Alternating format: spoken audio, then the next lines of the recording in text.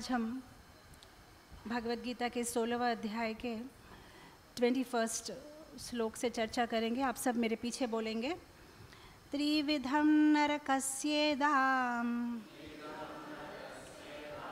द्वारम काम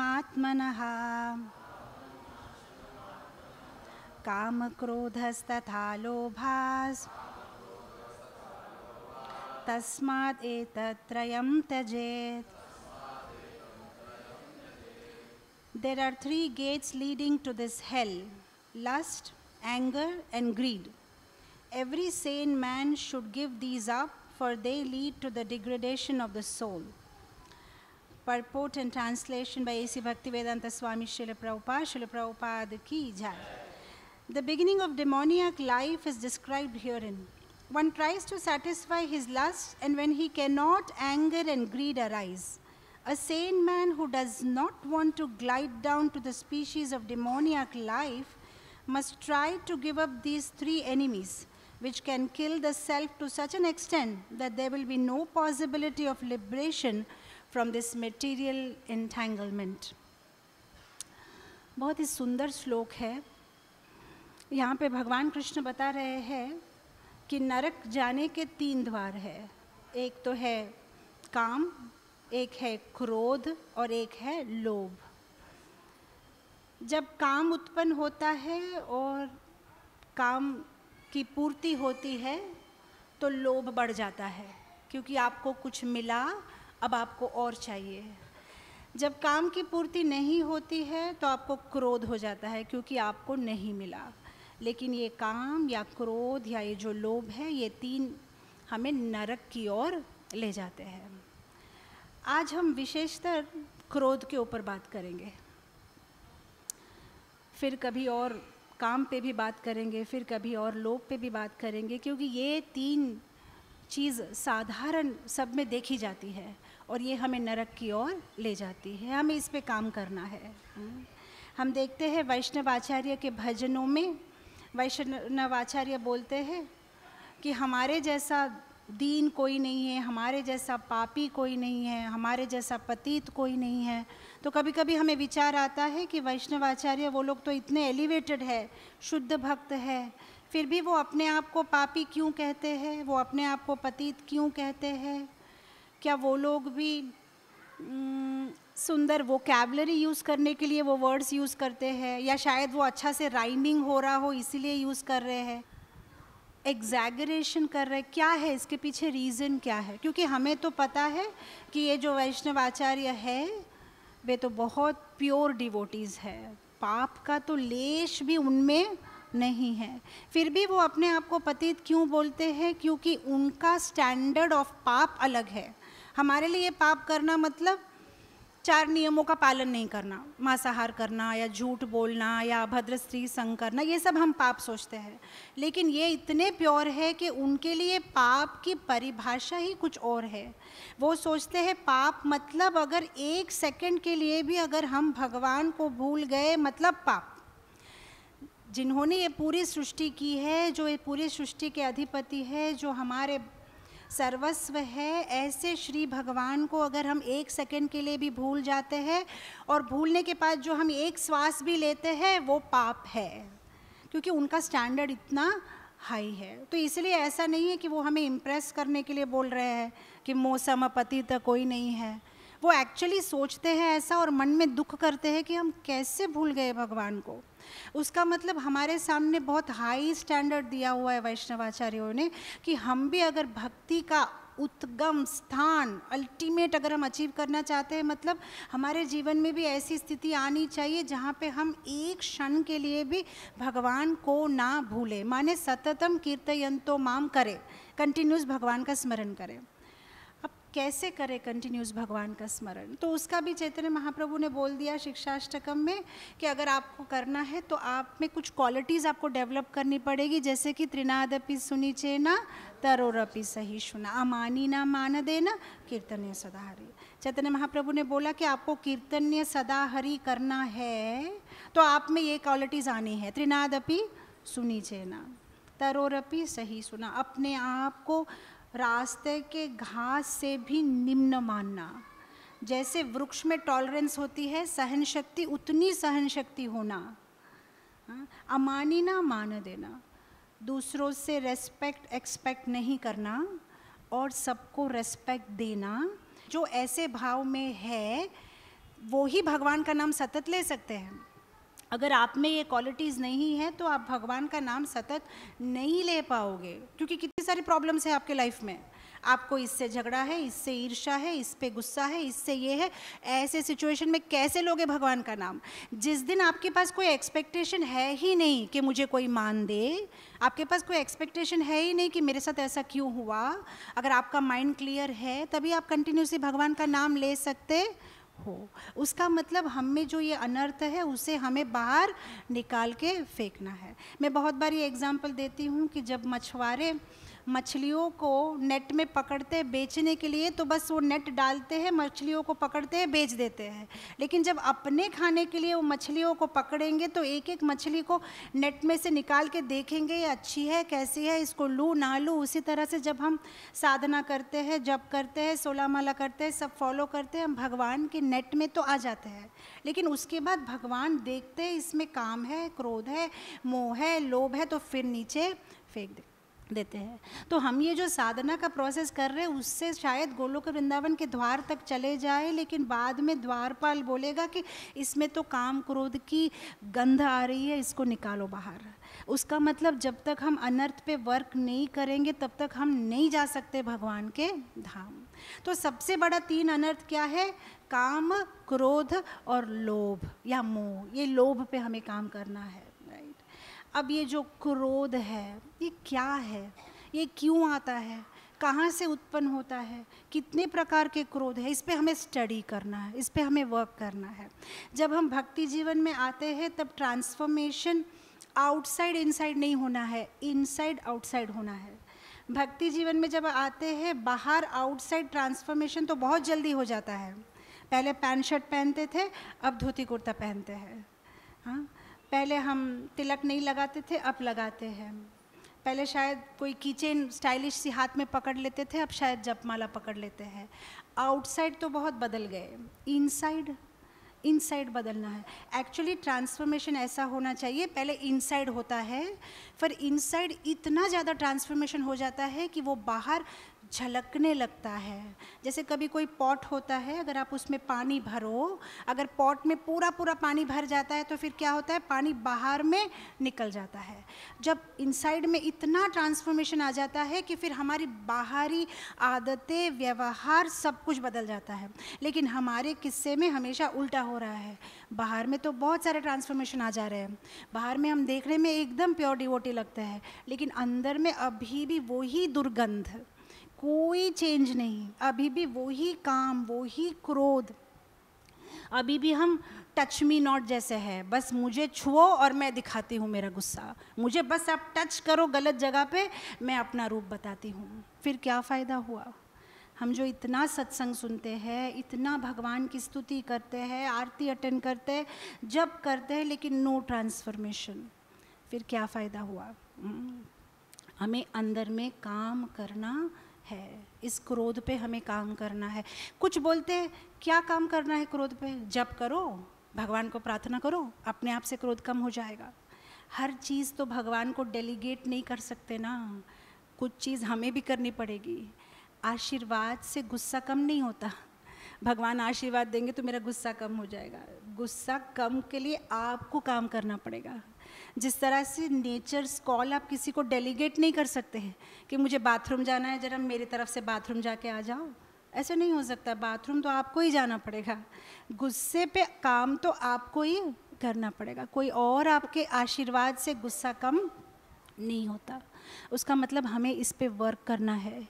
ये गुस्सा कहाँ से आता है? ये गुस्सा क्यों आता है? इसके मूल कारण क्या है? और हमारे पास समय भी बहुत कम है। ये ह्यूमन लाइफ कैसा है? जिस तरह से अगर आप फ्रिज खोलो, बर्फ़ की ट्रे से एक दो बर्फ़ निकालो, बाहर किचन के प्लेटफॉर्म में रख दो, क्या होगा? क्या होगा? मेल्ट हो जाएगा। क्या उसे रोक सकते हो? नहीं रोक सकते। उस तरह से हमारी लाइफ भी टिक होते जा रही है। धीरे धीरे धीरे मेल्टिंग होते जा रही है। हमें जल्दी करना है। इस अनर्थों पे हमें काम करना है। अब क्या करेंगे? स्टेप बाय स्टेप इसका एक प्रोसेस है। इस गुस्से से हमें कैसे बाहर आना है। सबसे पहले तो हमें एक दृढ़ निश्चय लेना है कि हम अपने आप में बदलाव चाहते हैं। कभी कभी हम अपने आप से इतने सेटिस्फाइड हैं, हम अपने आप में कोई बदलाव चाहते ही नहीं। आप में से यहाँ कितने लोग हैं जो सोचते हैं कि हाँ माता जी मेरे स्वभाव में कुछ बदलाव आना चाहिए। यहाँ पे कितने लोग ऐसे सोचते हैं कि मेरे आसपास के लोगों के स्वभाव में बदलाव आना चाहिए, तभी मैं खुश रह सकता हूँ। हम में आना चाहिए बदलाव। हालाँकि हमारा एक्चुअल नेचर ये है कि हमारे आसपास के लोग थोड़ा सा बदल जाए तो सब ठीक हो जाए लेकिन एक्चुअली बदलना किसे है? हमें बदलना है। हमारे स्वभाव को हमें बदलना है। अब आप बोल सकते हो माता जी स्वभाव तो कभी नहीं बदलता। आत्मा का जो स्वभाव होता है, वो तो बदल नहीं सकता, वो तो शाश्वत है।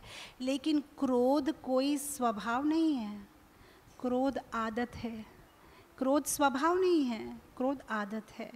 आपको आदत हो गई है क्रोध करने की आ? आपको आदत हो गई है। और फिर आप बोलते, पता नहीं कहाँ से आ गया क्रोध? मैं करना नहीं चाह रहा था, लेकिन क्रोध आ गया। अब क्रोध कोई पॉटी तो नहीं है कि आ गई माता जी मैं क्या करूँ? वो आती नहीं है, आप लेके आते हो उसको, है ना? अब इस क्रोध पे हमें वर्क करना है। अब कुछ लोग सोचते हैं कि जब क्रोध आता है, अगर हम क्रोध कर ले तो बात ख़त्म हो जाती है। लेकिन क्रोध कर लेने से बात ख़त्म नहीं होती है। सी जिस तरह से जब हमको बाथरूम लगती है, हम बाथरूम जाते हैं तो बाथरूम करने के बाद क्या हो जाता है? हम रिलैक्स हो जाते हैं।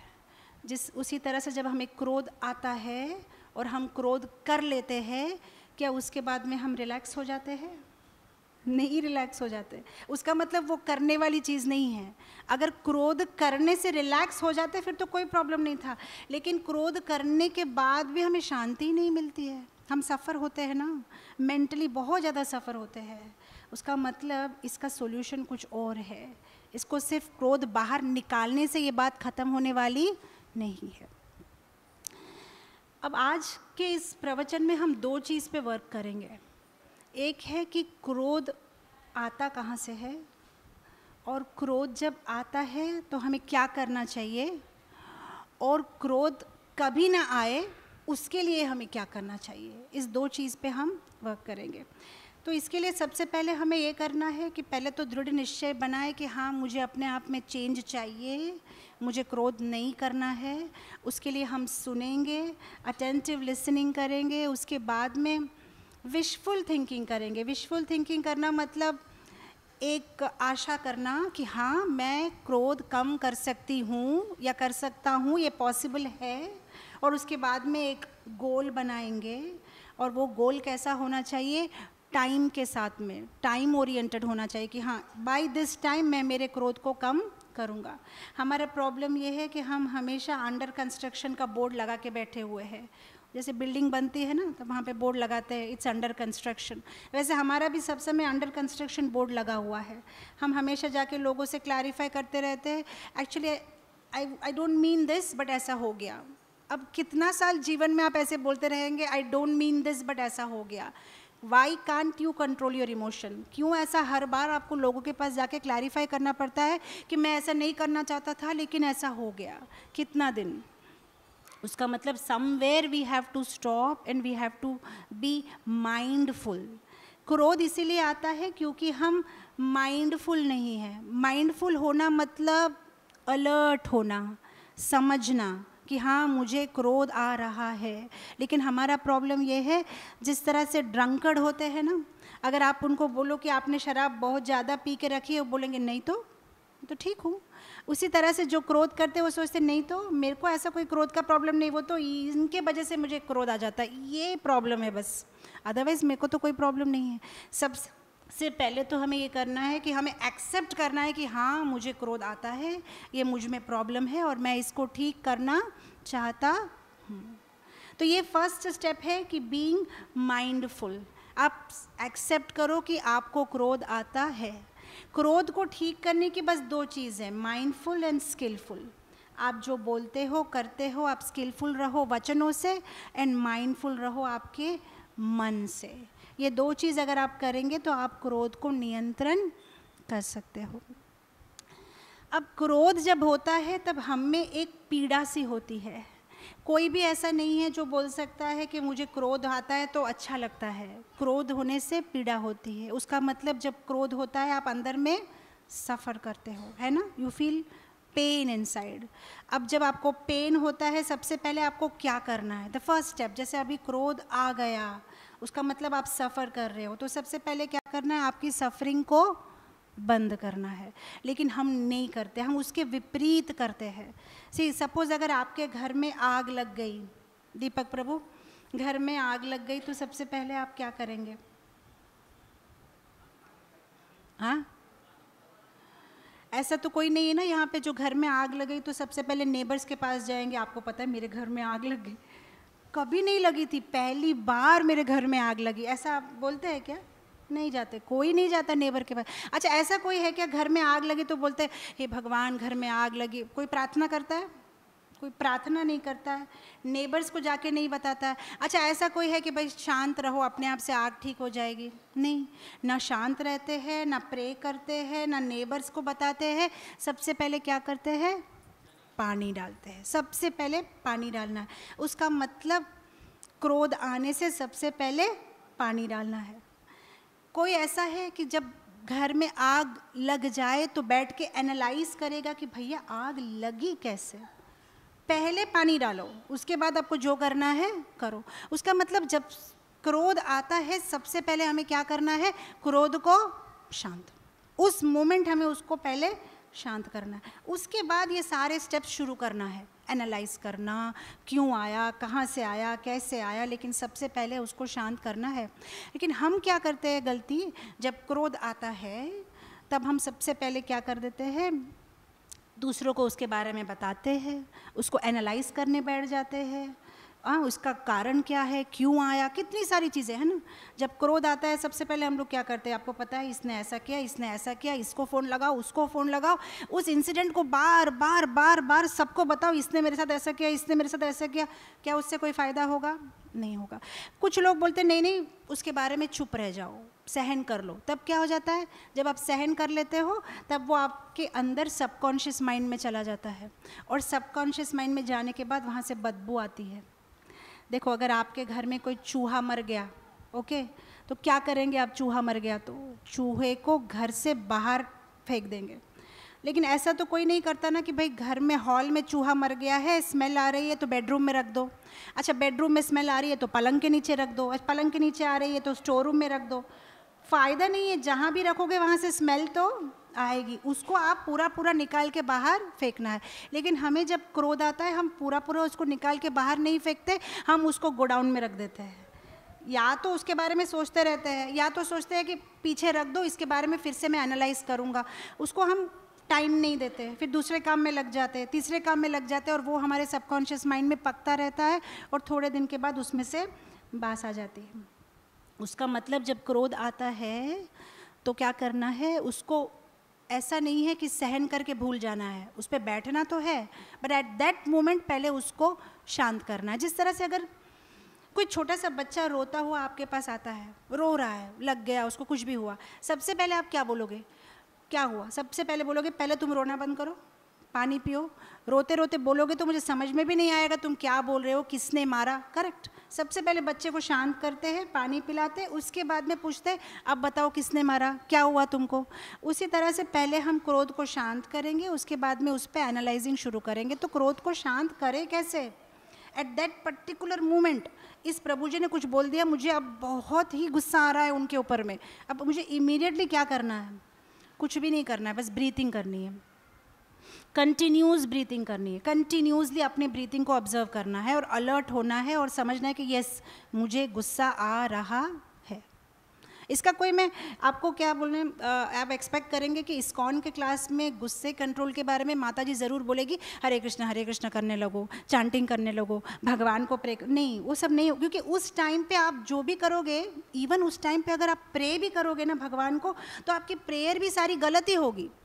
अगर आपका पति पत्नी का झगड़ा हो गया, उस टाइम पे अगर आप भगवान को प्रे करोगे तो आप क्या बोलोगे my dear lord please change my wife nature wife नहीं बोला मैंने।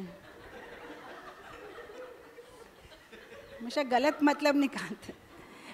Please change my wife's nature उस टाइम पे आप ऐसा नहीं बोलोगे कि चेंज माई नेचर आप बोलोगे चेंज माई वाइफ आपका पूरा तरीका ही सोचने का गलत होगा। उसका मतलब उस टाइम पे आपको प्रे करना नहीं चाहिए। गुस्से में आप प्रे करोगे तो काम नहीं होगा। अगर गुस्से में एनालाइज करोगे तो भी गलत ही एनालाइज करोगे। इसको ऐसा नहीं करना चाहिए था, उसको वैसा नहीं करना। Because at this moment you are in anger आप कुछ भी करोगे वो गलत ही होगा। इसलिए सबसे पहले तो गुस्सा को ठंडा करना है। You just have to breathe in and breathe out बस, और समझो कि हाँ मुझे गुस्सा आ रहा है, मुझे गुस्सा आ रहा है, समझो कि yes I am getting angry if you become alert आपको गुस्सा आएगा ही नहीं. इस बार जब आपको गुस्सा आए आप एक बार ये करके देखो कि जब तक गुस्सा शांत नहीं होगा, मैं ब्रीथिंग बंद नहीं करूँगा. Continuously breathing and breathe out आप अपने आप को ये एक्सरसाइज दे दो कि जब तक मैं ब्रीथ इन ब्रीथ आउट करूँगा, जब तक कि मेरा गुस्सा कूल डाउन नहीं होता है। That is the first step पहले आप गुस्सा को ठंडा करो। उसके बाद में इंट्रोस्पेक्शन करो एनालाइज करो, क्यों हुआ था, क्या हुआ था। और जो गुस्से के कारण है, उसे पोस्टपोन मत करो। जब लेट करते हो तो वो चीज़ ज़्यादा इंटरेस्ट के साथ में बढ़ जाती है। उसको तभी का तभी सॉर्ट आउट करना है after you cool down the moment आप कूल cool डाउन हो जाते हो, आपके, आपको चीज़ें क्लियरली दिखाई पड़ती है। जब आप लाल चश्मा पहनते हो, आपको सब कुछ लाल दिखाई देगा। जब ब्लू चश्मा पहनोगे, सब कुछ ब्लू। गुस्सों में रहोगे, सब कुछ आपको गलत ही लगेगा। आपको लगेगा, पूरी दुनिया गलत है, बस मैं अकेली सही हूँ। लेकिन जब आप शांत हो जाओगे, उसके बाद में जब आप उसको न्यूट्रली देखोगे, तब लगेगा कि नहीं नहीं, मेरी भी गलती थी, इसकी भी गलती थी, ये हमारे साथ में हुआ है। तो ये गुस्से को कंट्रोल करने के लिए थोड़े स्टेप्स है। माइंडफुल ब्रीथिंग करिए एनालाइज करिए। गुस्सा आपका अपना है, वो कहीं और से तो सृष्टि नहीं हुआ है। उसका मतलब उस गुस्से को केयर की ज़रूरत है। पहले तो एक्सेप्ट करो कि हाँ आप मेरी सृष्टि हो, आप मुझसे आए हो, अब मुझे आपका टेक केयर करना है। अब गुस्से के भी अलग अलग टाइप्स है, जिस तरह से हम गुस्से को प्रदर्शन करते हैं। किसी किसी का गुस्सा नाना पाटेकर गुस्सा है। नाना पाटेकर जानते हैं? हिंदी फ़िल्मों के एक एक्टर बहुत ज़बरदस्त चिल्लाते हैं। कुछ भी बात करते हैं तो चिल्ला चिल्ला के बात करते हैं। कुछ लोगों का गुस्सा ऐसा स्टाइल का गुस्सा है। गुस्सा आएगा मतलब और ज़ोर ज़ोर से चिल्लाना शुरू कर देंगे।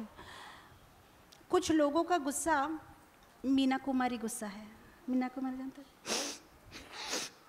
वो गुस्सा है। मतलब हर बात पे रोना आ जाएगा।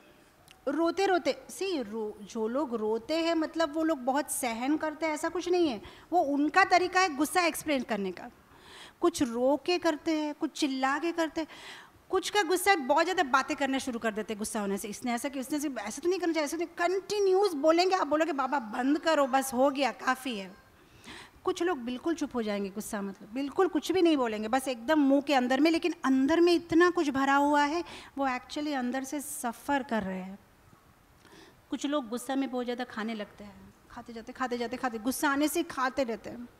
कुछ लोग गुस्सा आएँगे तो खाना बंद कर देंगे। बिल्कुल नहीं खाएँगे। दो दिन हो गया, मैं खाया नहीं, मेरे को इतना गुस्सा आया, बस मैं खाऊँगी नहीं। अलग अलग टाइप के गुस्से हैं। अलग अलग टाइप के गुस्से हैं। इसी मेन हम जब गुस्सा करते हैं, हम सिर्फ़ उसका एक्सटर्नल रूप देखते हैं बट एक्चुअली अंडरलाइंग उसके बहुत सारे कारण होते हैं। हम लोग को उस गुस्सा इसीलिए आता है क्योंकि हम जब गुस्सा करने वाले पर्सन को देखते हैं, निमित्त को देखते हैं तो हम सिर्फ़ उसको फोकस करते हैं। हमें समझ में नहीं आता है कि उसका और एक ब्रॉडर विजन है। जैसे कभी भी हमारे जीवन में कुछ होता है तो उसके तीन कॉज होते हैं। एक तो होता है कि इमीडिएट कॉज इस पर्सन के वजह से आया। एक तो होता है कि कार्मिक कॉज जैसे पूर्व में आपने कुछ कर्म किया होगा। और एक होता है अल्टीमेट कॉज माने कृष्ण का सैंक्शन भगवान की इच्छा। लेकिन हम इसीलिए गुस्सा आ जाते हैं क्योंकि ना हम अल्टीमेट कॉज देखते हैं, ना हम कार्मिक कॉज देते हैं। हम सिर्फ़ इमीडिएट कॉज देखते हैं, इसके वजह से मुझे गुस्सा आया है। लेकिन जब हम ब्रॉडर विजन से देखेंगे तो हमको गुस्सा नहीं आएगा। जब हम सोचेंगे कि हम आत्मा है, ये मेरे पूर्व के कर्म के अनुसार है, अगर ये मेरे साथ हुआ है तो इसमें भगवान की सैंक्शन है। अगर हमारा विजन हम बढ़ा दे तो फिर हमें गुस्सा नहीं आएगा। अब कोई बोलेगा माता जी मैं क्यों अपना विजन बढ़ाऊँ? मुझे क्या ज़रूरत है? मैं तो सिर्फ़ इमीडिएट कॉज पे ही फोकस करूँगी। लेकिन अगर गोलोक वृंदावन तुमको जाना है तो फिर इस चीज़ पे तुम्हें ही वर्क करना है। सामने वाले को कोई इंटरेस्ट नहीं है गोलोक वृंदावन जाने के लिए। जाना तुमको है। अगर तुमको जाना है तो तुम्हें इस चीज़ों पे काम करना पड़ेगा। तुम्हें इस पे वर्कआउट करना पड़ेगा। हमारी भक्ति जीवन का सार ये है कि हम भगवान के फेवरेट बनना चाहते हैं। सबको यही है ना? हम सब भगवान के फेवरेट बनना चाहते हैं। और भगवान तो भगवत गीता में बता चुके हैं कि उनका फेवरेट कौन है। भगवान 12.18 भक्ति योग में बताते हैं सम शत्रु च मित्रे च। जो शत्रु के साथ, मित्र के साथ समान भाव से रह सकता है, वो मेरा प्रिय है। भगवान बता रहे हैं जो सुख में, दुख में, समर हो विंटर हो, शत्रु हो दोस्त हो, सबके साथ जो समान भाव से रहता है, वो मेरा प्रिय है, भगवान बता रहे हैं और हम भगवान के प्रिय बनना चाहते हैं। श्रीमद् भगवद गीता के सिक्स चैप्टर नाइन्थ श्लोका में भी यही बात बताते हैं भगवान कि जो भक्ति में एडवांस्ड है, वो लोग हर स्थिति में समान भाव से रहते हैं। अगर हम भगवान से प्यार करते हैं, सी आप जब किसी को प्यार करते हो तो वो जो गुण आप में देखना चाहते हैं, आप वो गुण अपने आप में डेवलप करना चाहते हो। हम भगवान को प्यार करते हैं और भगवान ने बता दिया कि मुझे तो ऐसे लोग प्रिय है। बस हमें ऐसे बनना है। हर सिचुएशन में अपने आप को हमें सम रखना है। गुस्सा जब आता है, तब हम देखने में भी बहुत भयानक बन जाते हैं। जब एंशंट ग्रीक पीपल जो राजमहल में वगैरह काम करते थे, जो राजा के सर्वेंट्स उनका एक सिस्टम था। वो जहाँ भी, जो भी उनका यूनिफॉर्म होता था, उसके साथ में वो आईना रखते थे। तो सपोज़ अगर राजा उनको कभी बुलाए कुछ काम पे तो पहले वो अपना आईना से अपना मुँह देखेंगे कि वेदर दे आर प्रेजेंटेबल और नॉट क्योंकि जब आप गुस्सा करते हो सिर्फ़ काम करते समय तो गुस्सा, किसी को साथ कुछ आर्ग्यूमेंट हो जाएगा, कुछ भी हो जाएगा तो आपका फेस भी बहुत भयानक हो जाता है। तो they use to check them self कि are we presentable are we okay pleasant तब जाके राजा के समक्ष वो आते थे। गुस्सा इतनी सारी चीज़ कर देता है हमारे साथ हाँ। कुछ लोग सोचते हैं कि अगर गुस्सा आया, मैंने गुस्सा कर लिया, अब गुस्से की बात ख़त्म करो, चलो सेवा कंटिन्यू करो। लेकिन ऐसा नहीं होगा। ये जो आपने गुस्सा किया है, वो सारे सेवा में भी रिफ्लेक्ट होता है। उसका पॉइजन हर जगह कैरी फॉरवर्ड होता है। गुस्से से आपके शरीर में भी बहुत सारे हार्मोनल चेंजेस आ जाते हैं। बहुत सालों पहले मैंने एक आर्टिकल पढ़ा था कैसे एक लेडी अपने पति के साथ में कुछ बात पे गुस्सा हो गया, दोनों का फाइटिंग हो गया, उसके बाद में बच्चे को ब्रेस्ट मिल्क पिला रही थी, बच्चा मर गया। क्योंकि उसको इतना ज़्यादा गुस्सा आ गया कि उसका जो ब्रेस्ट मिल्क था वो पॉइजनस हो गया। Out of so much anger तो कितनी सारी चीज़ कर देती है गुस्सा हमारे साथ? सी तो उसके, उस उस गुस्से को मन में लेके फिर हम चांटिंग करें, स्तुति करें, कोई लाभ नहीं है। पहले हम उस गुस्से पे हमें वर्क करना है। गुस्से को चेंज करना है या कन्वर्ट करना है? जैसे कभी कुछ लोग मुझे बोलते हैं कि माता जी इस पर्सन के ऊपर मेरा गुस्सा नहीं है, लेकिन मुझे इस पर्सन के ऊपर प्यार भी नहीं है। इट्स जस्ट दैट मैं न्यूट्रल हूँ और मैं इस पर्सन के साथ डील नहीं करना चाहती हूँ। ये बहुत बड़ा चीटिंग है। या तो आपके उसके ऊपर गुस्सा है, या तो आपको उसके ऊपर प्यार है। ना गुस्सा, ना प्यार हो ही नहीं सकता। क्योंकि अगर आपने एक बार कोई एनर्जी क्रिएट की है तो वो एनर्जी डिस्ट्रॉय नहीं हो सकती। एनर्जी को सिर्फ़ ट्रांसफॉर्म कर सकते हैं। तो सपोज़ अगर मैंने इस पर्सन पे गुस्सा कर दिया तो मैंने एक एनर्जी क्रिएट कर दी। अब मैं बोलूँगी, नहीं नहीं, मुझे इस पर्सन के साथ ना गुस्सा है, ना प्यार है, ऐसा पॉसिबल ही नहीं है। उसका मतलब गुस्सा अभी भी है। आइधर ये एनर्जी को कन्वर्ट करना है मुझे, गुस्से को प्यार में। या तो प्यार गुस्सा में कन्वर्ट होता है, या तो गुस्सा प्यार में कन्वर्ट होता है, लेकिन नहीं इसका डिस्ट्रक्शन नहीं होता है। साइंस भी बोलता है ना, जो एनर्जी क्रिएट होती है, वो कभी डिस्ट्रॉय नहीं कर सकते, उसको सिर्फ़ आप चेंज कर सकते हो। उसका मतलब अगर एक बार आपको किसी के लिए नेगेटिव भाव आए हैं, उसका मतलब आपको क्या करना है? Now you have to work and make it in positive भाव। कुछ लोग बोलते नहीं नहीं, ऐसा कुछ नहीं है, बस I don't want to deal with that person मैं उस पर्सन के साथ डील नहीं करना चाहती हूँ। अगर उस पर्सन को मेरी कभी कुछ ज़रूरत पड़ी तो मैं मदद करने के लिए तैयार हूँ, लेकिन मैं उसके साथ डील नहीं करना चाहता।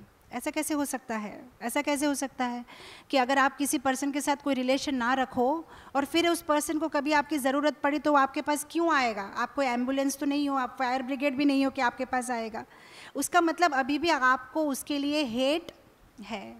So what we have to do is just like organic farmers क्या करते हैं? गार्बेज जो होता है वेस्ट होता है, उसको मैन्यूर बना देते हैं फर्टिलाइज़र्स बना देते हैं। उसी तरह से हमारे नेगेटिव भाव को भी हमें पॉजिटिव भाव में क्रिएट करना है। एक्चुअली प्रॉब्लम हमें सिर्फ़ एक दो लोगों के साथ ही होता है। पूरी दुनिया के साथ प्रॉब्लम किसी को नहीं होता है। कभी कभी मुझे कुछ लोग बोलते हैं माता जी मेरा नेचर तो बहुत अच्छा है, मुझे तो प्रॉब्लम नहीं है। इस दुनिया में मुझे सिर्फ़ एक पर्सन से प्रॉब्लम है। वो एक पर्सन के सिवाय मुझे, आप किसी को भी पूछ लो, मेरा किसी के साथ भी रिश्ता खराब नहीं है, मेरा सिर्फ़ वो एक पर्सन के साथ रिश्ता खराब है। अरे भाई साहब, सबका एक दो पर्सन के साथ ही रिश्ता खराब होता है। पूरी दुनिया के साथ किसी का रिश्ता खराब नहीं होता। लेकिन क्या वो एक दो पर्सन के साथ रिश्ता खराब करना इतना इंपॉर्टेंट है कि आप भगवान के फेवरेट लिस्ट से निकल जाओ? If is it that important for you वो आप डिसाइड करो। आप क्या करना चाहते हो? अगर आप भगवान का फेवरेट बनना चाहते हो तो वो एक दो पर्सन के साथ जो आपका है, उसको मिटा दो। वहाँ का वहाँ उसे डिज़ोल्व कर दो। इट्स वेरी इंपॉर्टेंट चाइना में एक स्कूल में एक टीचर ने बहुत अच्छा होमवर्क दिया था बच्चों को।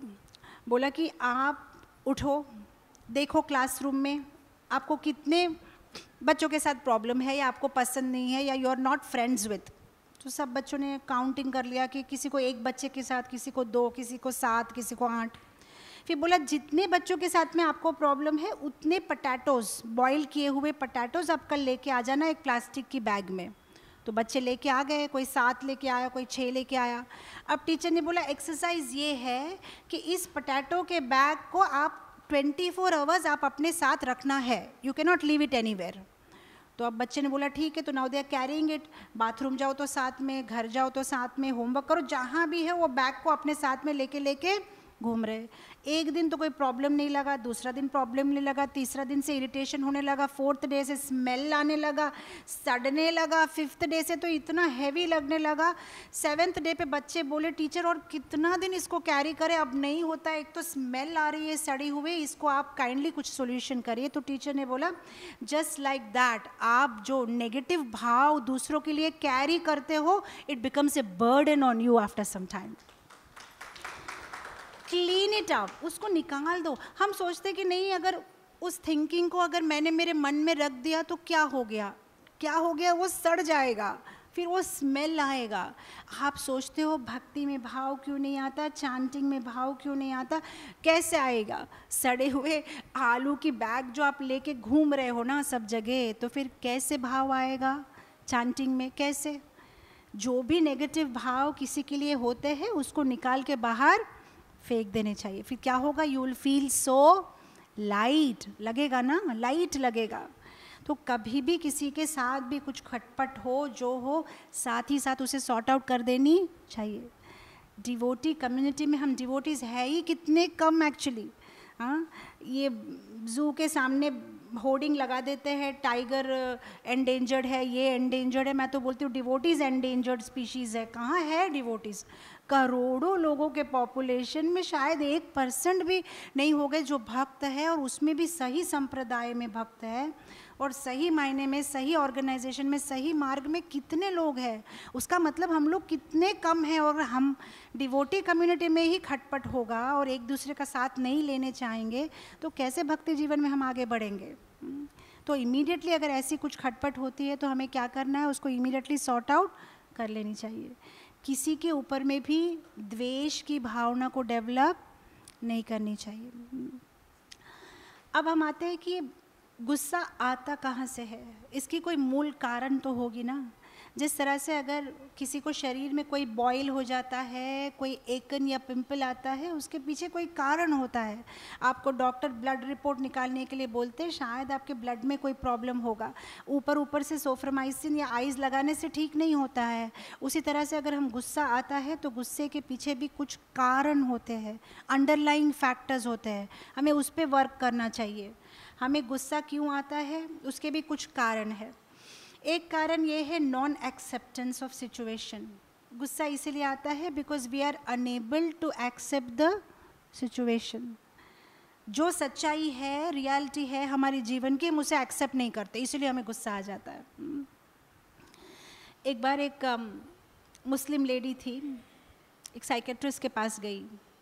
साइकेट्रिस्ट के पास लोग क्यों जाते हैं? थोड़ा सा डिस्कशन करेंगे तो थोड़ा सा मेंटली लाइट फील होगा। अब ये लेडी एक बच्चे को लेके गई, उसके छोटे बेटे को लेके गई। अब जैसे ही साइकेट्रिस्ट के ऑफ़िस में गई, ये बच्चा बहुत शैतान फ्लावर वॉस गिरा दे रहा है चेयर को उलट कर दे रहा है विंडो ये कर दिया, कुछ नीचे फेंक दिया, इतना शैतानी कर रहा है। साइकेट्रिस्ट समझ गया ओ इसी के लिए आई होगी बेचारी। इतना बच्चा, इतना हाइपर एक्टिव है शायद।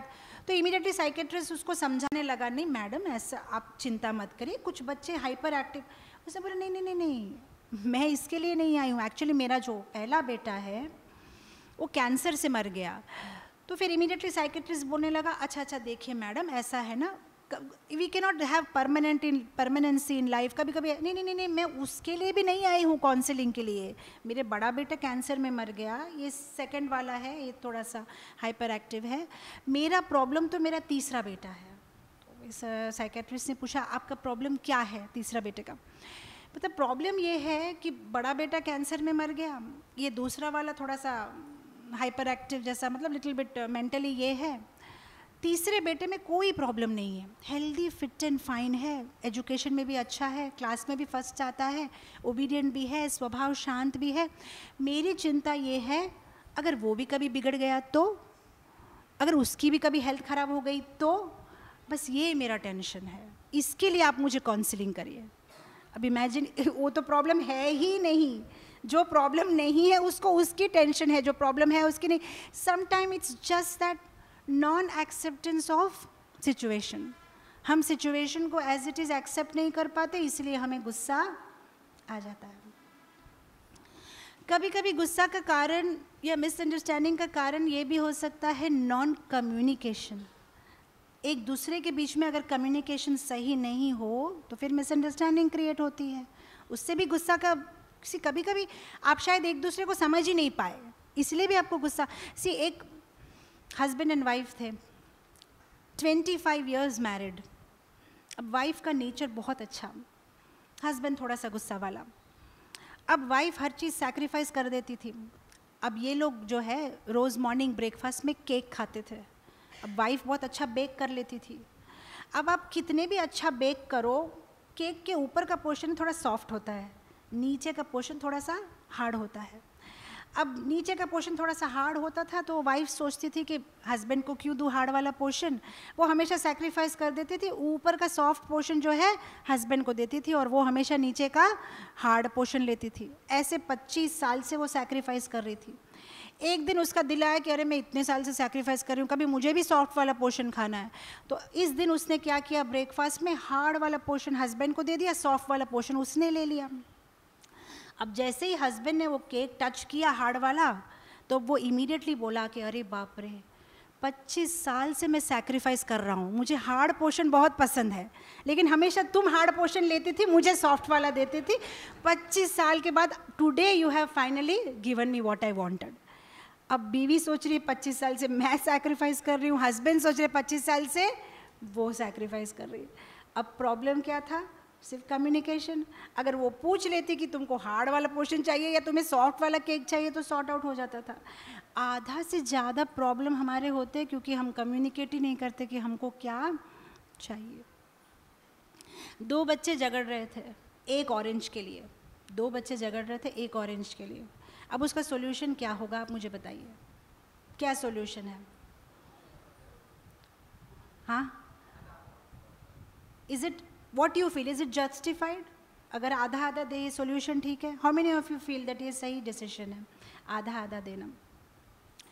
ऐसे ही किया हमने भी आधा आधा दे दिया। अब क्या हुआ जब आधा आधा दे दिया तो एक बच्चे ने क्या किया? अंदर का जो ऑरेंज था वो खा लिया और स्किन बाहर फेंक दिया। दूसरे बच्चे ने क्या किया? अंदर का ऑरेंज फेंक दिया और बाहर का स्किन रख लिया।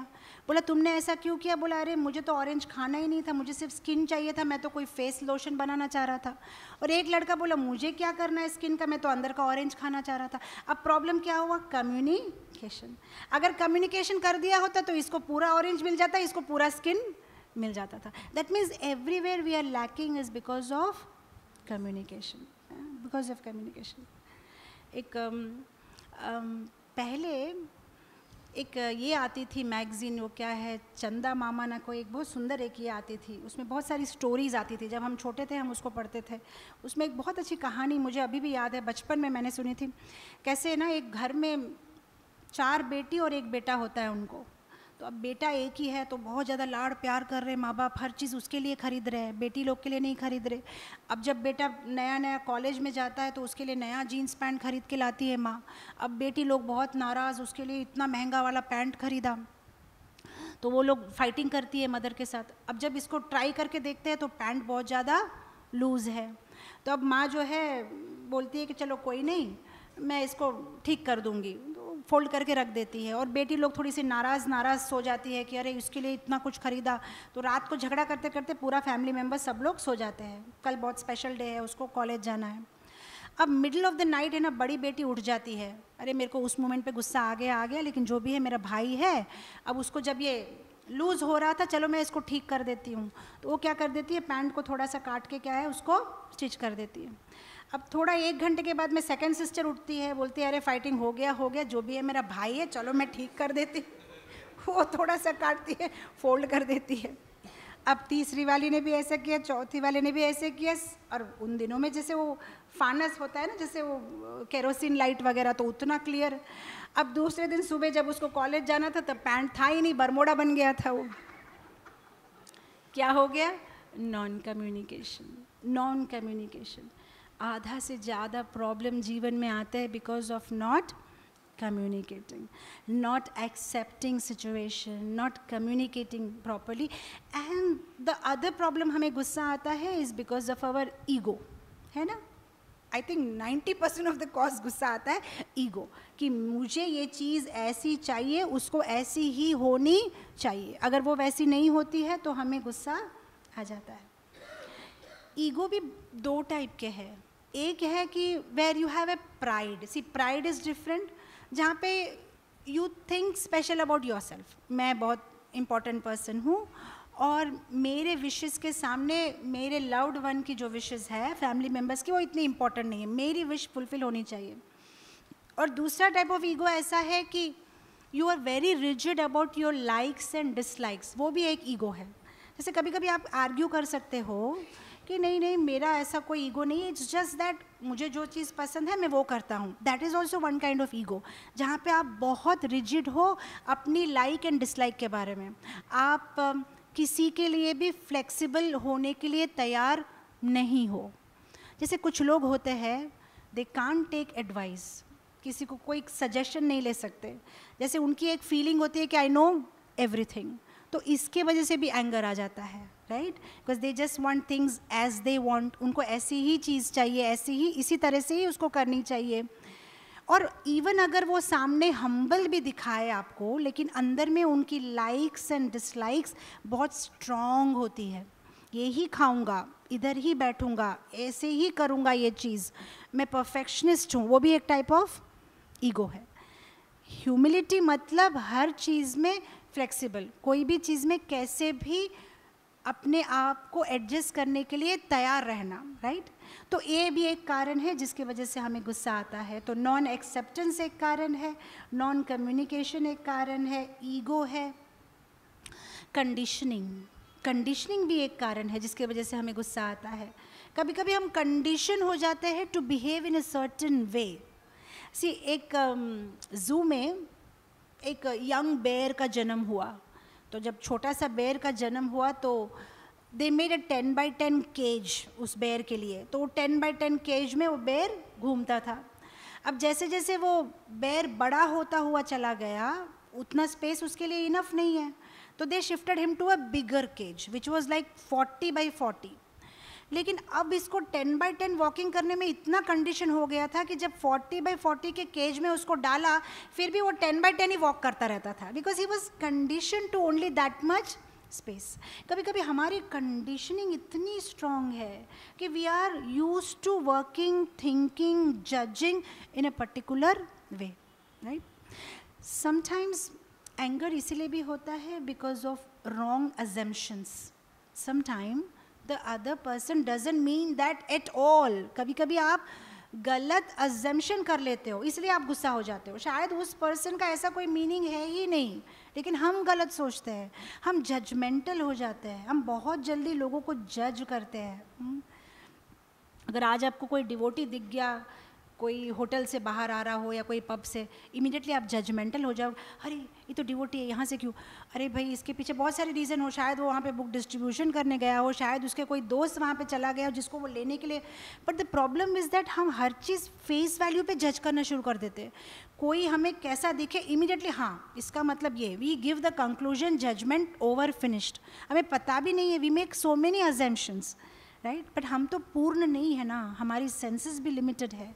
तो हमें बहुत केयरफुल होना चाहिए, हम क्या ज्यूम कर रहे हैं, हम किस किस बेसिस पे किसको जज कर रहे हैं। शायद हमें पूरा पूरा पिक्चर भी पता नहीं है।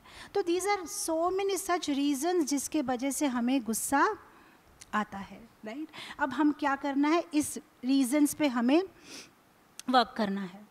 कभी कभी गुस्सा इसीलिए भी आता है क्योंकि हमारा ओवर एक्सपेक्टेशन होता है राइट ओवर एक्सपेक्टेशन होता है रॉन्ग एक्सपेक्टेशन होता है रैदर रॉन्ग एक्सपेक्टेशन होता है। सी अगर आप कोई मैंगो के झाड़ के नीचे खड़े रहो और आप सोचो कि लेमन आएगा लेमन आएगा तो लेमन नहीं आएगा। मैंगो से मैंगो ही आएगा। Sometimes you have over expectations और wrong expectations from your partner ये भी हो सकती है ना। समटाइम्स यू एक्सपेक्ट कि आपके हस्बैंड इसी तरह से बिहेव करने चाहिए। और समटाइम्स यू एक्सपेक्ट कि your wife should behave in this way it may not be possible सबका अपना अपना नेचर है, सबका अलग अलग है।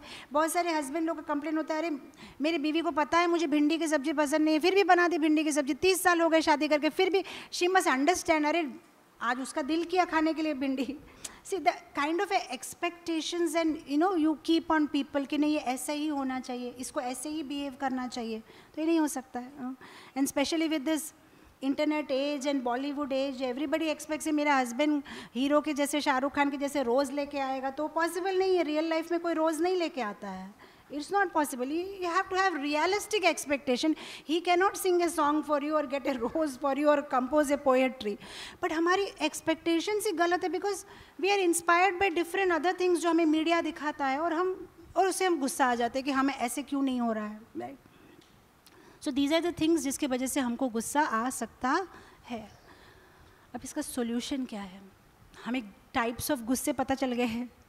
हमें गुस्से के कारण पता चल गए अभी गुस्से का सोल्यूशन क्या है?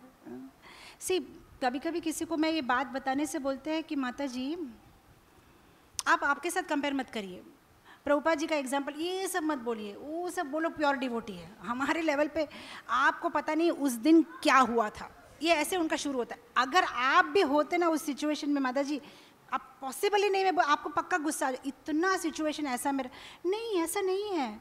हर एक पर्सन का डिग्रीज अलग है, हर एक पर्सन का रिएक्शन अलग होता है। सी एक घर में एक मदर ने इडली चटनी बना दी, उसके चार बेटे थे। अब इडली चटनी बना दी डाइनिंग टेबल पे रख दी। अब चटनी में सॉल्ट देना भूल गई। अब बड़ा बेटा का क्या रिएक्शन था? जैसे देखा, अरे, चटनी में सॉल्ट नहीं है, उसने एकदम प्लेट फेंक दी। ये उसका डिग्री ऑफ़ रिएक्शन है, उसको गुस्सा आ गया।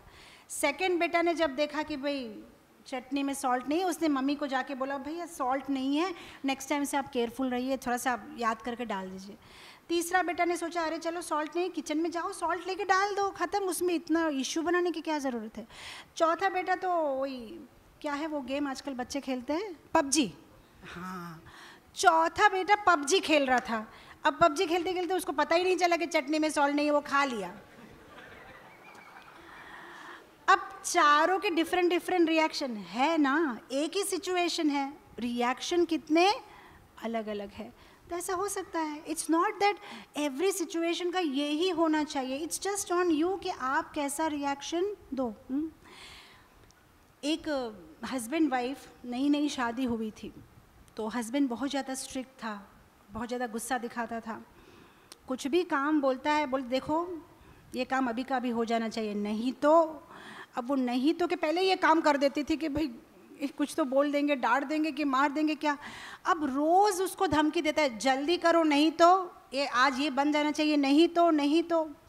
अब एक दिन वो किटी पार्टी में गई। अपनी फ्रेंड्स को बोली, अरे, मेरे हस्बैंड तो बहुत टॉर्चर कर देते यार, हर बात में नहीं तो नहीं तो मेरे को बहुत डर लगता है, वो आने से मेरे को शिवरिंग हो जाती है घर में. उसकी एक फ्रेंड थोड़ी स्मार्ट थी, बोला, ठीक है, इस बार अगर वो ऐसा बोलता है ना, नहीं तो तो तुम पूछ लो कि नहीं तो क्या? पूछ के देखो, पता तो चले कि क्या, नहीं तो क्या। बोली, ठीक है, इस बार वो रेडी हो गई. सुबह सुबह हस्बैंड चिल्लाया, पाँच मिनट के अंदर में गर्म पानी रेडी होना चाहिए बाथरूम में नहीं तो। ये किचन से बाहर निकली और बेलन से मतलब चपाती बना रही थी बेलन लेके आई, नहीं तो क्या? बोले, नहीं तो मैं ठंडा पानी से नहा लूँगा। ठंडा पानी से नहा लूँगा। वो नहीं तो नहीं तो धमकी दे रहा था, लेकिन है बेचारा बहुत सॉफ्ट उसका ऐसा कोई माइंड में था ही नहीं।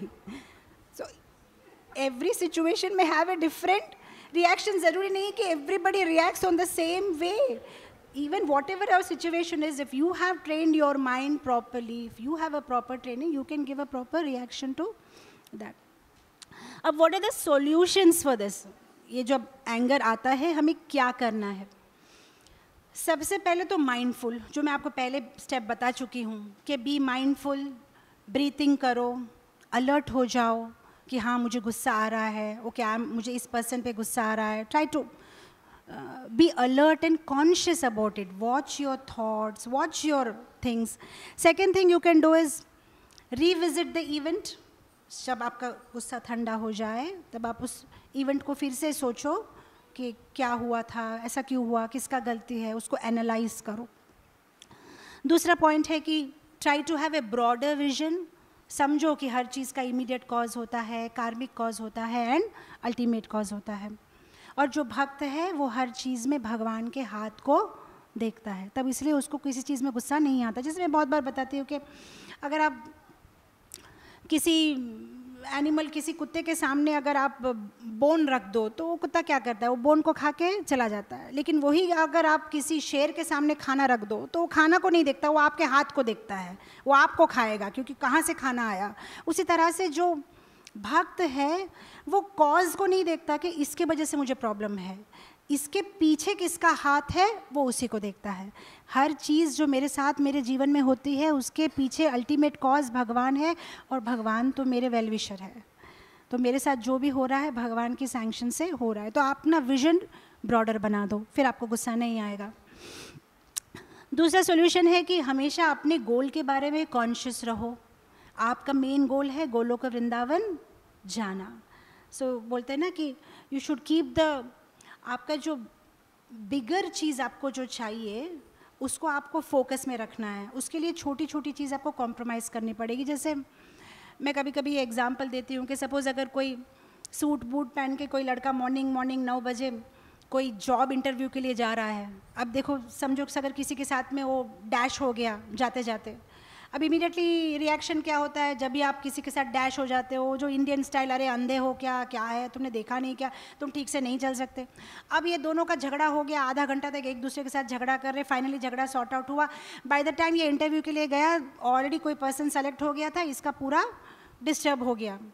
अब उसको क्या करना चाहिए था at that moment even though उसके साथ में डैश हो गया I should have compromise at that moment पहले जाके अपना जॉब अटेंड करके इंटरव्यू अटेंड करके आ जाता राइट right? उसका मतलब क्या करना है कि हमारा जो बिगर प्रॉब्लम है should be kept as the bigger problem you should treat the bigger problem as the bigger problem जो हमारा बिगर फोकस हमें क्या अचीव करना है, उसके ऊपर में हमें फोकस करना है। छोटे छोटे प्रॉब्लम्स में हमें माइंड नहीं करना है। Sometimes we lose the bigger vision समझ में आ रहा है?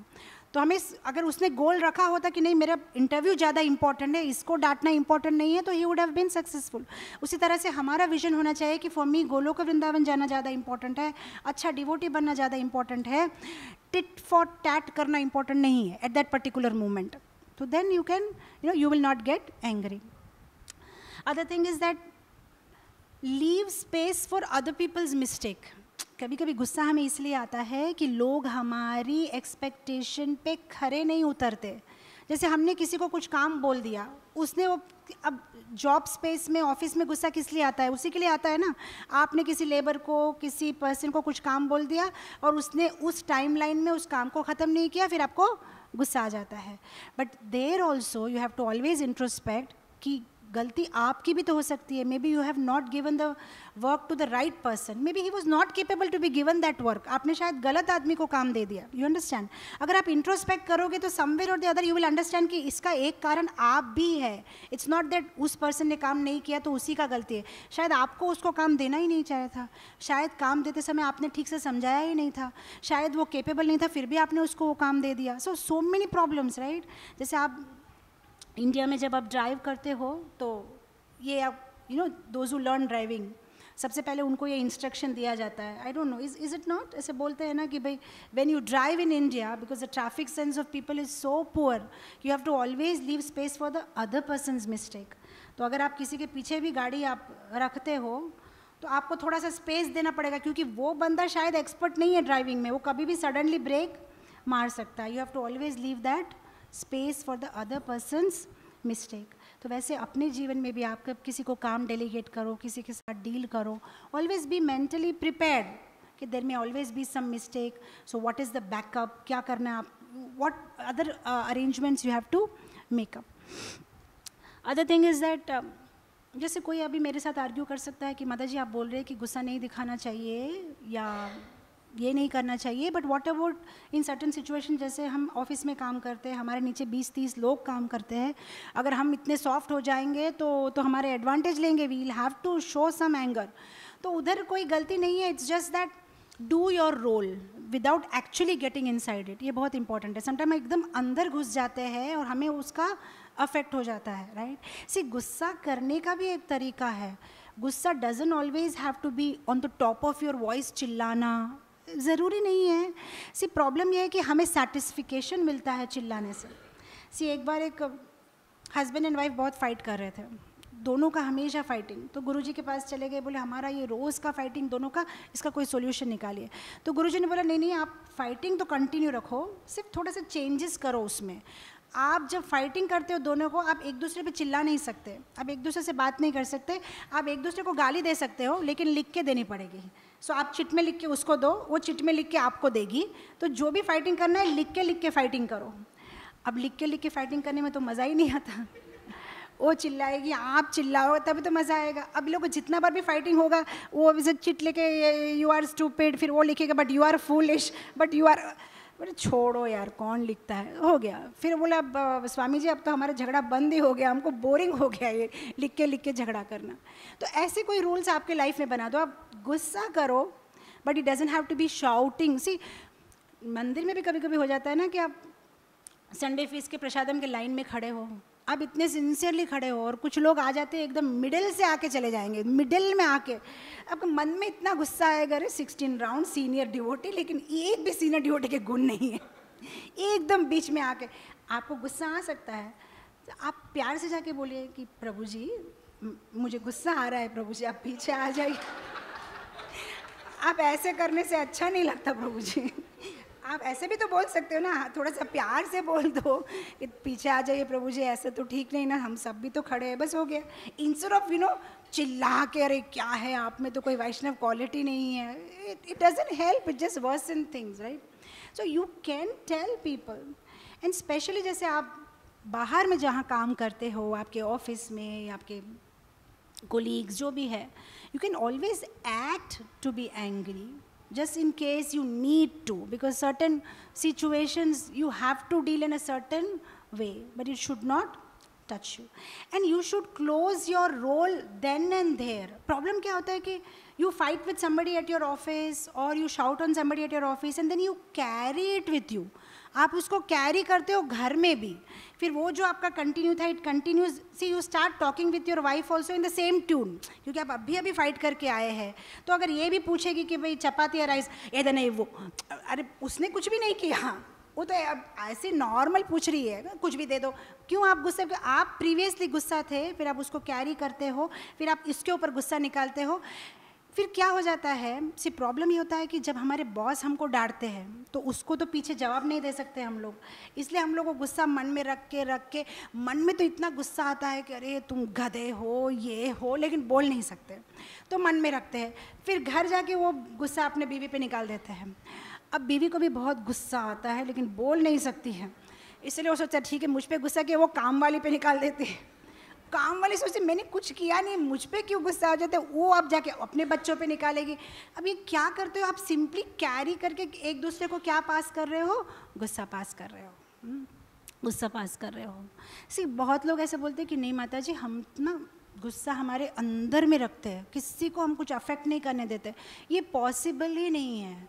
A happy man only can give happiness to other A loving person only can give love to other.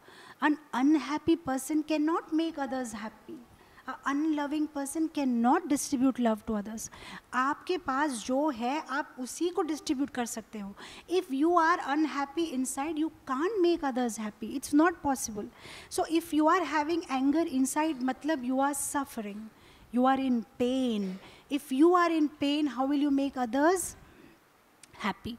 उसका मतलब you will have to come out of that pain right तो हमें इस pain से बाहर निकलना है right so you have to do your role आप दिखाओ किसी को। जैसे अदर डे में बता रही थी कि कभी कभी जैसे कोई बोलता है कि भाई, हम गुस्सा नहीं दिखाएँगे तो लोग हमारा एडवांटेज लेंगे। तो मैं नारद मुनि का एग्ज़ाम्पल दे रही थी कैसे नारद मुनि का वो शिष्य होता है, सांप।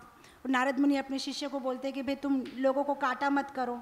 और फिर एक साल के बाद जब नारद मुनि उस जगह में आते हैं तो देखते हैं कि इस सांप को सबने इतना बुरी तरह से मारा हुआ है, हर जगह से ब्लड निकल रहा है। और नारद मुनि पूछते कि भाई तुम्हारी ऐसी हालत कैसे हो गई? तो बोला, आपने ही तो बोला था कि किसी को मत काटो।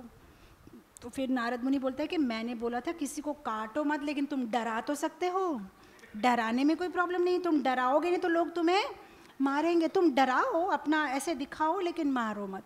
तो उसी तरह से एज ए डिवोटी हमें कभी कभी कुछ सिचुएशन में थोड़ा सा दिखाना पड़े but that should be on the level of acting only अंदर तक हमें वो नहीं छूना चाहिए। हम्म। हमारा रोल हमें वहाँ ही ऑफ़िस में हमें जैसे बिहेव करना है, हमें वहाँ पे उस तरह से बिहेव करके उसको वहीं पे क्लोज करना है। सी हम्म। जज जो होते हैं, वो कोर्ट में क्या करते हैं? उनको आदत होता है ना वो हामर लेके, क्या है वो? ऑर्डर ऑर्डर ऑर्डर करते हैं ना। तो एक जज जब घर जाता है तो फिर डाइनिंग टेबल पे शुरू करता है, उसकी बीवी को ऑर्डर ऑर्डर ऑर्डर। अब घर पे बीवी को ऑर्डर कर सकते हैं क्या? क्या कर सकते हैं? हाँ? रिक्वेस्ट मैंने नहीं बोला हाँ? I have not I am just asking on your own you said request request कर सकते ऑर्डर नहीं कर सकते। तो you have to close your role there only जहाँ पे आपका जो रोल है, आपको वो पालन करना। है The other thing that can help you to come out of anger is introspection. अपने थॉट्स को ऑब्ज़र्व करो। मुझे किस तरह के थॉट्स आ रहे हैं? और जैसे कोई बुरा थॉट आपको दिखाई देता है, उसको इमीडिएटली निकाल के बाहर फेंकना है।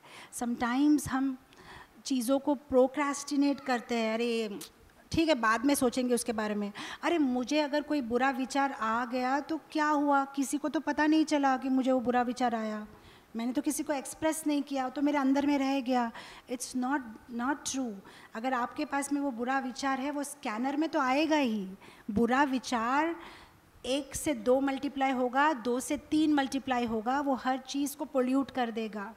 बुरा विचार लेके you can't go on the other side जहाँ हम जाना चाहते हैं, गोलोक वृंदावन। जिस तरह से जैसे कभी कभी ना, जब हम एयरपोर्ट के लिए बैग पैक करते हैं तो लगता है कोई एक कोक है, कुछ कोल्ड ड्रिंक है। डाल दो, किसको पता चलेगा बैग के अंदर, लेकिन पता तो चलता है क्योंकि बैग स्कैन होता है। और स्कैन में पता चल जाता है कि आपने कोक का बॉटल लिया है, आपने मिल्क शेक लिया है, सब कुछ स्कैन होता है। और फिर क्या होता है, सब कुछ वो लोग निकाल के बाहर फेंक देते उसी तरह से हम भी जब गोलोक वृंदावन जाते हमारा पूरा स्कैनिंग होगा। क्या बुरे विचार है क्या क्या इसमें प्रॉब्लम्स है। तो वहाँ तक क्यों रुकेंगे? फिर से हमारा रिजेक्ट होगा, उसके अभी से उस थॉट्स को निकाल के बाहर फेंकना है। इंट्रोस्पेक्शन भक्ति जीवन में आगे बढ़ने के लिए बहुत मदद करता है because when you do introspection you become alert see गुस्सा तभी आता है when you are not alert if you are alert about yourself आपको गुस्सा नहीं आएगा। See after listening today's session आप वेट करो। गुस्सा आएगा तो मैं प्रैक्टिस करूँगा वो माइंडफुल ब्रीथिंग करूँगा नहीं आएगा गुस्सा। बिकॉज़ गुस्सा तभी आता है जब आप इट कम्स अनकॉन्शियसली जब आप जागरूक नहीं हो तभी गुस्सा आता है। अगर आप कंटिन्यूसली आपके थॉट्स को मॉनिटर करो तो गुस्सा नहीं आएगा। Introspection hmm? करो अलर्ट रहो। और राइट um, right चीज़ पे फोकस करो। राइट right चीज़ पे फोकस करना। कभी कभी हम, हमारा फोकस ही गलत दिशा में है। सी एक एक आदमी एक ऑफ़िस में ज्वाइन हुआ नया नया first day of the office everything is fine next day morning second day जब वो आया तो लेट से आया, साढ़े ग्यारह, बारह बजे। तो बॉस ने बोला, अरे, तुम कल ज्वाइन हुए, आज तुम लेट आ गए। बोला no sir yesterday I did overtime रात को बारह बजे तक काम कर रहा था। लेकिन मैंने तो तुमको कोई काम दिया ही नहीं रात को बारह बजे तक, तुम ऑफ़िस में क्या कर रहे थे? बोला, सर, आपको पता नहीं, आपके ऑफ़िस में एक प्रॉब्लम है। बोला, क्या है प्रॉब्लम बोलते, सर, आपका जो ये कीबोर्ड है ना, उसमें अल्फ़ाबेट सब सही से नहीं है। ए के बाद बी बी के बाद सी आना चाहिए। इसलिए मैंने सारे अल्फ़ाबेट्स निकाल के पूरा रात कीबोर्ड को ठीक कर दिया। सर, अभी ए टू जेड एकदम परफेक्ट है।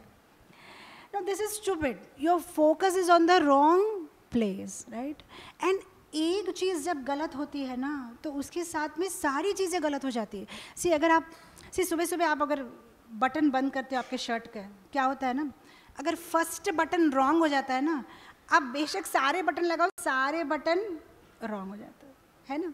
फ़र्स्ट बटन करेक्ट आने से सब कुछ ठीक हो जाता है। तो समटाइम्स आपका फोकस अगर गलत जगह पे हो, आपका स्ट्रेंथ, आपका माइंड, आपका एनर्जी एंड टाइम अगर आप गलत जगह पे लगा रहे हो तो सब कुछ गलत ही होने वाला है। अदर थिंग इज़ दैट कभी कभी हम चीज़ों को बहुत ज़्यादा ज़्यादा खींचते हैं एलास्टिक के जैसे।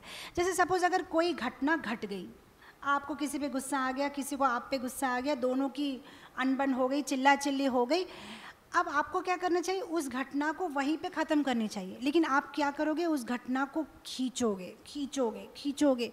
जितने लोग मिलेंगे सबको बताओगे, ये हुआ था, ये हुआ था, ये हुआ था। बार बार बार बार उस घटना को दोहराते रहोगे। उसमें भी क्या होता है?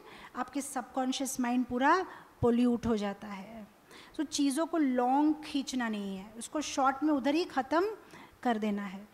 जस्टिफिकेशंस में टाइम वेस्ट नहीं करना है। Sometime we give so many justifications actually मैंने इसीलिए ऐसा किया था, मैंने इसीलिए ऐसा why can be simply accept it and finish it up ये कोई कोर्ट केस तो नहीं है ना कि तारीख के बाद तारीख तारीख के बाद तारीख, आप इसको जस्टिफिकेशन दो, उसके just go for out of court settlement हाँ। You just go and accept हाँ मेरे से ये गलती हुआ था I am sorry and then finish it up so ये चीज़ एक आप कर सकते हो जिससे आपका गुस्सा कम हो सकता है। Other is um, perception of things. जैसे sometimes your perception of looking at things is different than the other person's perception उसमें आपको misunderstanding हो जाती है जैसे एक एक मदर इन लॉ को ऑलवेज कंप्लेन था कि उसकी डॉटर इन लॉ घर नीट नहीं रख रही है। ऑलवेज कंप्लेन हमेशा अपने बेटे को बोलती थी कि no your wife is not keeping the house clean अब उसका बेटा एक दिन संडे था, घर पे था। उसने पूरा घर चेक किया। बोला, घर तो पूरा नीट एंड क्लीन है। फिर भी मम्मी बार बार क्यों कंप्लेन करती है? अब उसको एक आइडिया आया। जब उसकी माँ बाथरूम में गई नहाने के लिए then he went and checked her her mother his mother's spectacles अब उसने देखा कि स्पेक्टिकल्स में धूल थी, साफ़ नहीं था डस्ट था।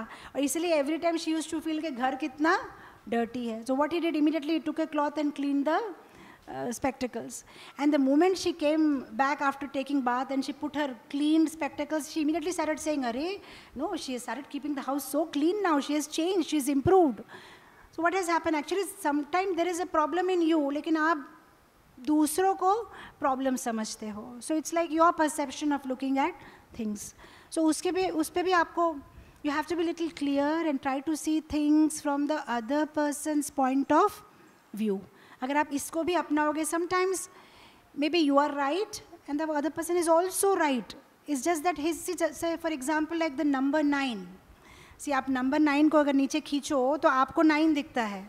लेकिन सामने वाले पर्सन को वो सिक्स दिखेगा। एक्चुअली वो पर्सन भी करेक्ट है और आप भी करेक्ट हो। Is just the way from कौन से एंगल से वो पर्सन उस चीज़ को देख रहा है। So you can work on that the second thing is that when you get connected to the higher consciousness, when you get connected to Krishna, then the other things gone हो जाती है छोटी हो जाती है। फॉर एग्ज़ाम्पल अगर आप किसी बड़े बिल्डिंग के सामने जाके खड़े रह जाओ तो बिल्डिंग बहुत बड़ा लगता है। लेकिन जब आप फ़्लाइट पे बैठते हो और जब वो फ़्लाइट आकाश पे उड़ता है तो फिर वो बिल्डिंग आपको बहुत छोटा लगता है।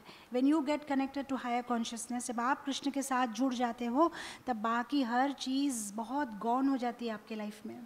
आपका विजन बहुत ब्रॉड हो जाता है चीज़ों को देखने का। सी एक um, छोटा बच्चा अपना ग्रैंड मदर के पास बैठा हुआ था तो ग्रैंड मदर एक स्वेटर निटिंग कर रही थी। तो जब वो स्वेटर निटिंग कर रही थी तो see when you see the sweater knitted from you know बच्चा छोटा है ग्रैंड मदर ऊपर है, उसको लग रहा है कि mama what are you doing grandmother what are you doing you know this is looking so funny और फिर ग्रैंड मदर ने क्या किया? एक छोटा सा स्टूल दिया और उसको स्टूल के ऊपर में चढ़ाया। फिर वो जब बच्चा स्टूल के ऊपर में चढ़ के देखा then he could see oh this is a sweater see when you understand जब आप निट करते हो आपको पता नहीं चलेगा वो चीज़ क्या है। बट जब आप ऊपर से देखते हो तो आपको पूरा डिज़ाइन दिखाई देता है। Sometimes we see things with our limited senses with our limited perception of looking at things और हमें वो चीज़ें समझ में नहीं आती है। But when we get connected to higher consciousness and sometimes in for that matter, even when we connected, get connected to our guru in that matter, who may be having a better vision of looking at things, a broader vision of looking at things, then he और she can help us to look at things that way तो जब कभी कभी जैसे हमारे life में या situation में ऐसा प्रॉब्लम आता है we can always take help because they may see it in a different way they may see things with a bird's eye you know जब आप चीज़ें देखते हो, आप सामने सामने देखते हो but when a bird sees a things bird can see the whole thing you know जैसे आप मास्टर प्लान देखते हो? कोई फ्लैट वैट का ड्राइंग करते हो, तब क्या है आपको पूरा मास्टर प्लान दिखाएँगे। यहाँ लिविंग रूम है, यहाँ ये, यहाँ है बट अपने आप से तो आप सिर्फ़ दीवार देख पाओगे। Sometime when you get connected to senior devotees guru shiksha guru दीक्षा गुरु हायर हायर कॉन्शियसनेस में जो है, भगवान से कनेक्ट होते हो, तब आपको वो different way of looking things बता सकते हैं। That may also help in controlling your anger and your emotion and last thing, I'll uh, say this and end it here. Clear your accounts in this lifetime. इसके बारे में मैं बहुत बार बता चुकी हूँ जैसे कभी कभी हमें किसी पे क्रोध क्रोध आता है या हम किसी से गुस्सा होते हैं क्योंकि हमारा उसके साथ पूर्व का कोई कार्मिक बंधन है तो जब इस लाइफ में भी हमें उस पर गुस्सा आता है तो हमें उस पर्सन से ज़्यादा प्रेम करना चाहिए उस पर्टिकुलर पर्सन जिस पे हमें गुस्सा आता है, उससे ज़्यादा माफ़ी मांगनी चाहिए। माफ़ करना नहीं चाहिए, माफ़ी मांगनी चाहिए। कभी कभी हम अपने आप के बारे में इतना महान सोचते हैं, जब somebody does wrong to us जब कोई हमारे साथ गलत बिहेव करता है तो हम उसे माफ़ कर देते हैं। माफ़ नहीं करना है, माफ़ी मांगनी है। क्योंकि हमने कुछ गलत किया होगा पूर्व में, इसीलिए वो पर्सन हमारे साथ ऐसा बिहेव कर रहा है। इसलिए अब इस लाइफ में हमें उनसे माफ़ी मांगनी है। अब नेक्स्ट लाइफ उसको कैरी फॉरवर्ड नहीं करना है। मैं बहुत बार ये एग्जांपल दे चुकी हूँ, कैसे अगर कोई मीटिंग में आप बैठे हो और आप दोनों का झगड़ा हो गया हो और मीटिंग एब्रप्टली एंड कर दी हो और फिर नेक्स्ट टाइम जब मीटिंग बैठती है जब वो पर्सन फिर से आता है, तब आप गुस्सा में ही होते हो, क्योंकि आपका प्रीवियस मीटिंग गुस्सा में एंड हुई थी और ये नई मीटिंग भी गुस्से से शुरू होती है और ये ऐसा सिलसिला कंटिन्यू हो जाता है। लेकिन इस पर्टिकुलर मीटिंग में अगर आप दोनों का जो गुस्सा था वो आप एंड कर दो, एक दूसरे से क्षमा मांग लो हैप्पी हो जाओ ऑन ए हैप्पी नोट अगर आप मीटिंग एंड करो तो नेक्स्ट लाइफ में जब ये मीटिंग शुरू होगी you will start it with a fresh note लेकिन हम लोग ऐसा नहीं कर रहे हम इसको कैरी फॉरवर्ड कर रहे हैं। और आप लोग को तो पता है अकाउंट्स में जब कैरी फॉरवर्ड होता है, तब उसके साथ इंटरेस्ट भी जुड़ जाता है। हमें बैलेंस कैरी फॉरवर्ड करना ही नहीं चाहिए। जिसके साथ हमारा वैर है प्रॉब्लम है, उससे क्षमा मांगनी चाहिए। उसको और प्यार देना चाहिए। उसके साथ और कैरी फॉरवर्ड नहीं। See, unless and until you really want to see this person's face again and again every life. See, already you are frustrated this life कि इस person के साथ problem हो रहा है। और आप उसको sort out नहीं करना चाह रहे हो। You are trying to avoid it अब ये कंटिन्यू होता रहेगा। उसके बदले में जिसके साथ प्रॉब्लम होता है and ask forgiveness and ask forgiveness उस पर्सन से क्षमा मांगो। उस पर्सन से क्षमा मांगो। कभी कभी उसमें भी हमारा ईगो बीच में आ जाता है। मैं क्यों क्षमा मांगो? मेरी तो गलती है ही नहीं। गलती तुम्हारी नहीं है, पर भगवान के पास तुम जाना चाहते हो। You want to go back to Krishna गलती तुम्हारी है ही नहीं, फिर भी तुम जाके माफ़ी मांग लो राइट तुम जाके माफ़ी मांगो। कभी कभी हम दूसरों पे दोष देने के लिए तैयार रहते हैं। कुछ भी हमारे साथ हो, इसकी गलती है, उसकी गलती है। मुल्ला नसरुद्दीन किसी के घर में चोरी कर रहा था। पुलिस ने पकड़ लिया उसको। कोर्ट में हाजिर हुआ। जज ने बोला कि भाई देखो तुम ऐसे चोरी कर रहे थे, तुम पकड़े गए, तुमने गलत किया। एक्चुअली तुम क्यों? तुमने ऐसा क्यों किया? तो बोलता है, सर, मेरी गलती है ही नहीं। गलती तो आइसक्रीम वाले की है। बोले, चोरी तुमने की? इसमें आइसक्रीम वाले की क्या गलती है? बोले, सर, आइसक्रीम वाला पार्क के पास खड़ा था। आइसक्रीम देख के मुझे खाने का दिल किया। मैंने एक नहीं, दो नहीं, चार आइसक्रीम खाए। आइसक्रीम ज़्यादा खाई इसलिए मुझे सर्दी हो गई। सर्दी हो गई इसलिए जब मैं चोरी करने गया था तो मुझे खांसी आ गई, इसलिए घर वालों को पता चल गया कि मैं चोरी कर रहा हूँ। इसलिए वो लोग मुझे पकड़ लिया। तो गलती तो आइसक्रीम वाले की है ना? मेरी गलती कहाँ है? ये हमारी लाइफ की स्टोरी है। हम इसको, उसको इसको, उसको, इसकी गलती है, उसका गलती तुम्हारी है, तुम चोरी करने गए थे, उसमें आइसक्रीम वाले का क्या रोल है? ये हमारा प्रॉब्लम है। हम इतने एक्सपर्ट हैं दूसरों के ऊपर में ब्लेम देने के लिए। इसकी वजह से हमारा प्रॉब्लम है, उसके वजह से हमारा प्रॉब्लम है। तो हमें इंट्रोस्पेक्शन करना चाहिए, कहाँ गलती है राइट जैसे जीव गोस्वामी बहुत अच्छे बोलते हैं all this good people in this world are force to behave badly with you because of your previous karma Jiva Goswami बोलते हैं, इस दुनिया में तो सारे बहुत अच्छे हैं। लेकिन तुमने इतने बुरे कर्म किए हैं because of which this good people are force to behave badly with you तो ये बात भी हमें जब भी गुस्सा आए, किसी पे भी गुस्सा आए, हमें ये बात याद रखनी चाहिए my karma my fault my karma my fault और ये, अगर ये कुछ सूत्र अगर हमारे जीवन में हम लेके चले तो we can avoid so many things, we can avoid making offenses to other Vaishnavas, you know, and we can see इस दुनिया में सबसे बड़ा प्रॉब्लम है वैष्णव अपराध। अगर आप पाप करते हो तो कृष्ण तो बोलते हैं ना कि मैं सारे पाप से आपको मुक्त कर दूँगा। सर्वधर्मान परित्यज्य माम एकम शरण अहम तम सर्व पापेभ्यो मोक्ष इष्यामी मासु चाह एक बार अगर मेरा पास कोई सरेंडर कर दे तो मैं सारे पाप से मुक्त कर सकता हूँ। लेकिन अपराध से मुक्त नहीं कर सकते भगवान। अगर हम किसी वैष्णव के ऊपर में अपराध करें तो उससे तो भगवान भी हमें मुक्ति नहीं देख सकते। दुर्वासा मुनि ने जब अम्बरीश महाराज के खिलाफ अपराध किया तो भगवान ने क्या बोला? मैं कुछ नहीं कर सकता हूँ। जाके उससे ही क्षमा मांगो। हमारा प्रॉब्लम ये है कि हम किसी भक्त के तरफ़ अपराध कर लेते हैं, फिर क्षमा मांगना तो दूर।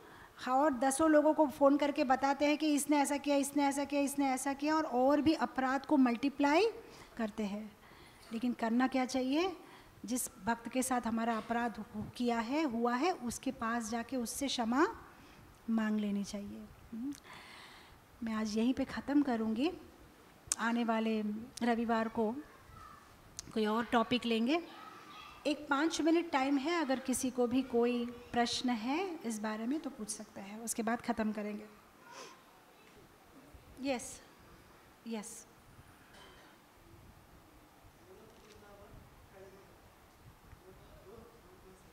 Golok Vrindavan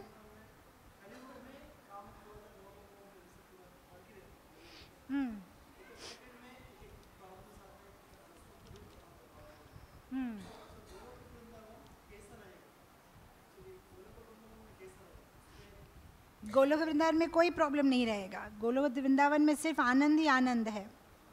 There is no problem that's why you see Vaikuntha it's called Vaikuntha kuntha means problems anxiety Vaikuntha means where there is no problem so Golok Vrindavan का रिफ्लेक्शन ये है। जब रिफ्लेक्शन होता है कोई चीज़ तो उसका उल्टा दिखाई देता है। अब आईना में देखो राइट लेफ़्ट दिखता है लेफ़्ट राइट दिखता है। वहाँ पे ओल्ड एज बर्थ डिज़ीज़ नहीं है। इसलिए यहाँ पे बर्थ ओल्ड एज डिज़ीज़ है। डेथ है, वहाँ नहीं है। वहाँ कोई प्रॉब्लम नहीं है, यहाँ पे प्रॉब्लम्स है। So once you go there नहीं, वहाँ पे जन्म भी नहीं है। वहाँ पे जन्म भी नहीं है। बिकॉज़ एक्चुअली जन्म सी यहाँ पे भी हमारा भी तो जन्म नहीं हो रहा है एक्चुअली बिकॉज़ हमारा सोल की ना डेथ होती है, ना बर्थ होती है। अपेरेंटली दिखता है बर्थ होता हुआ। इट्स जस्ट दैट अपियर हो रहे हैं हम एंड फिर अगेन इस बॉडी को निकाल के हम डिसअपेयर हो जाते हैं, फिर हमें कोई और बॉडी मिल जाती है।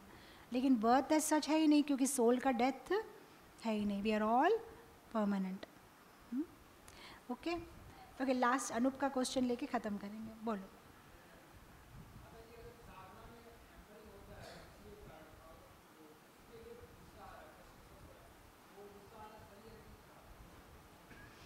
साधना हैम्पर होती है, तब गुस्सा आता है, ये गुस्सा होना अच्छा है या ख़राब?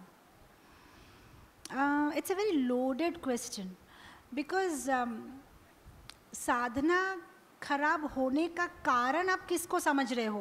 दैट इज़ वेरी इंपॉर्टेंट कभी कभी आप बोलते हो कि साधना मेरी ख़राब हो रही है क्योंकि बच्चा डिस्टर्ब कर रहा है। साधना मेरी ख़राब हो रही है क्योंकि मेरी बीवी मेरे बेटे को अगर ठीक से देखती तो मैं अच्छा से चांटिंग करता। तो फिर ये गुस्सा अच्छा वाला गुस्सा नहीं है।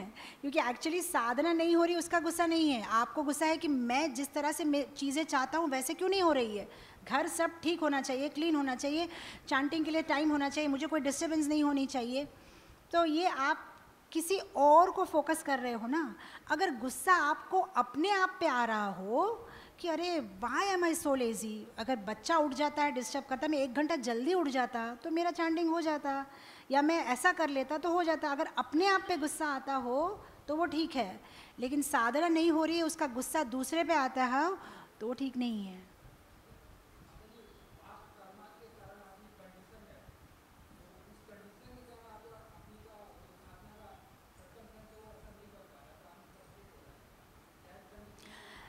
बहुत सारी चीज़ें हैं। It's only not past karma एक तो है आपका प्रेजेंट बिहेवियर दूसरा है भगवान की इच्छा, तीसरा है काल। इसमें बहुत सारे फैक्टर्स हैं। पूर्व के कर्म है, अभी के कर्म है, भगवान की इच्छा है, काल है, ये सारे फैक्टर्स से एक सिचुएशन क्रिएट होती है। तो आप किसी का फॉल्ट नहीं दे सकते कि मेरे पूर्व कर्म है ओनली एक्सक्लूसिवली या तो ये इसी, नहीं everything there are so many factors involve in this So, anything that is happening in your life is a mixture of so many things. Last question and we'll end it here.